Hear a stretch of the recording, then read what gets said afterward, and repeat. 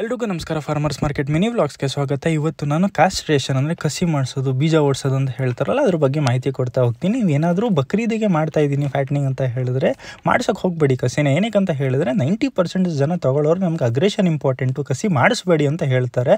ಅದಾದಮೇಲೆ ನೀವೇನಾದ್ರು ಕೆಂಗುರಿ ಫ್ಯಾಟ್ನಿಂಗ್ ಏನಾದ್ರು ಮಾಡ್ತಾ ಇದ್ದೀನಿ ಅಂತ ಹೇಳಿದ್ರೆ, ಕಸಿ ಮಾಡಿಸೋ ಅವಶ್ಯಕತೆ ಏನೂ ಇಲ್ಲ. ಏನಕ್ಕೆ ಅಂತ ಹೇಳಿದ್ರೆ ಅಗ್ರೇಷನ್ ಆಗೋಕ್ಕಿಂತ ಮುಂಚೆನೇ ನೀವು ಮರಿಗಳನ್ನ ಮಾರ್ಬಿಟ್ಟಿರ್ತೀರ. ಸೊ ಮಾಡಿಸೋ ಅವಶ್ಯಕತೆ ಇಲ್ಲ ಕಸಿದು. ಮತ್ತು ಇನ್ನೊಂದು ಅಡ್ವಾಂಟೇಜ್ ಏನಂತ ಹೇಳಿದ್ರೆ ಬಕ್ರೀದವ್ರಿಗೆ, ಸೊ, ಕಸಿ ಮಾಡಿಸಿಲ್ಲ ಅಂತ ಹೇಳಿದ್ರೆ ನೋಡಿ, ಈ ಬಾಡಿ ಸ್ಟ್ರಕ್ಚರ್ ಚೆನ್ನಾಗಿದೆ, ಕೊಮ್ಮು ಚೆನ್ನಾಗಿದೆ, ಕಿವಿ ಚೆನ್ನಾಗಿದೆ, ಇದನ್ನ ನಾವು ಬ್ರೀಡಿಂಗಾಗಿ ಇಟ್ಕೊಬೇಕು ಅಂತ ಇದ್ದೀವಿ. ಇದೊಂದು ಅಡ್ವಾಂಟೇಜ್ ಬರುತ್ತೆ ನೀವು ಕಸಿ ಮಾಡಿಸಿಲ್ಲ ಅಂತ ಹೇಳಿದ್ರೆ. ಅದ್ರ ಮೇಲೆ ನಿಮಗೆ ಬಿಟ್ಟಿದ್ದು ಕಸಿ ಮಾಡಿಸ್ಬೇಕು, ಕಸಿ ಮಾಡಿಸ್ಬಾರ್ದು ಅಂತ ಕೆಲವರು ಹೇಳ್ತಾರೆ. ಕಸಿ ಮಾಡಿಸಿದ್ರೆ ವೇಟ್ ಗೇನ್ ಜಾಸ್ತಿ ಬೇಗ ಆಗುತ್ತೆ ಅಂತ ಹೌದು ಬಟ್ ಅನಿವಾರ್ಯತೆ ನಾವು ಏನು ಮಾಡೋಕ್ಕಾಗಲ್ಲ. ಸೊ ಕಸಿ ಮಾಡಿಸ್ತಾ ಇದ್ದರೆ ಒಳ್ಳೆಯದು ಕಂಟ್ರೋಲಿಗೆ ಬರಲಿ ಅಂತ ನೋಡಿ, ಈ ಥರ ದಪ್ಪ ದಪ್ಪದು ನಾವು ಹುಕ್ಸ್ ಹಾಕಿದ್ದೀವಿ. ಆದರೂ ತುಂಬ ಗಲಾಟೆ ಮಾಡ್ತವೆ. ಸ್ವಲ್ಪ ಅಗ್ರೆಷನ್ ಇದ್ದೇ ಇರುತ್ತೆ. ಅದಕ್ಕೆ ಕಟ್ಟಾಕಿ ಸಾಕಬೇಕು.